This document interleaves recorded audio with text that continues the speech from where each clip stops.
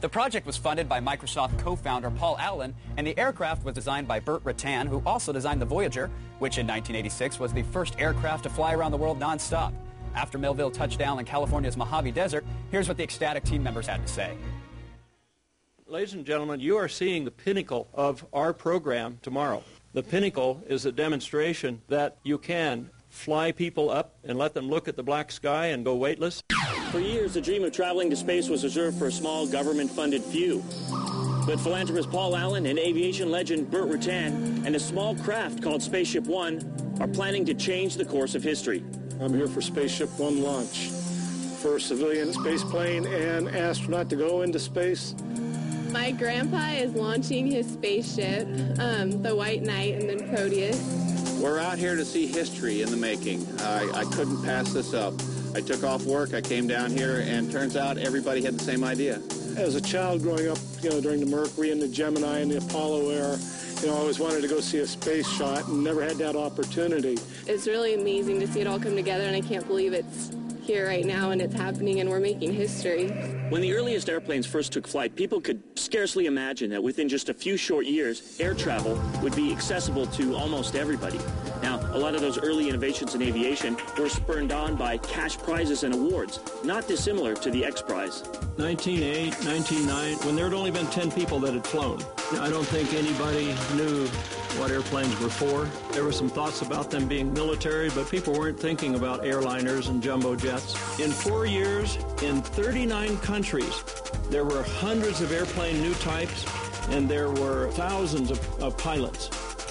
They just wanted to fly because they had the passion and the thought to get in a machine and travel at these ferocious speeds of 50 miles an hour and to be up there with the birds and be able to look down on the houses. That was enough to create hundreds of airplanes, thousands of pilots in 39 countries by itself.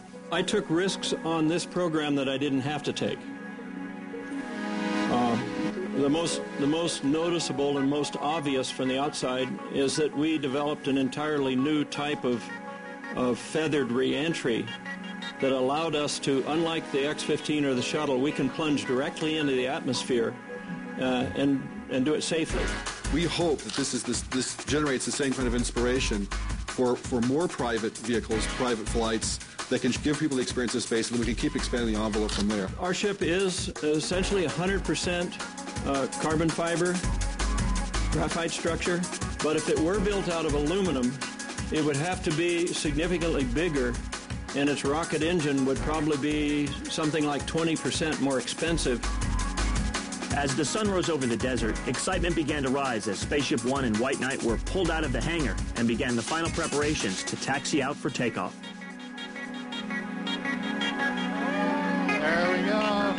Spaceship One and its mothership have begun their initial climb. They'll climb up to around 50,000 feet, where White Knight will launch Spaceship One and rocket into history.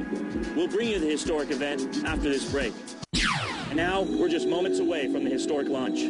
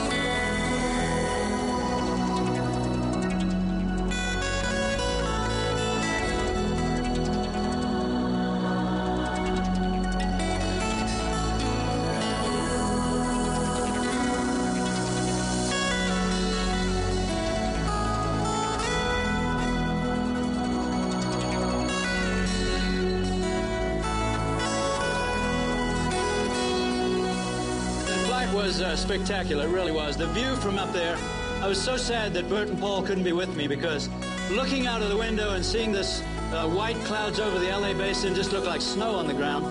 And Edwards Air Force Base lake looked about that big. And uh, I know I was uh, 330 or something like that, 330,000 feet when I last looked. So uh, You know, it was, it was uh, a mind-blowing experience. It really was. I just can't tell you how pleased I am that the feather, which was our big risk, it worked perfect.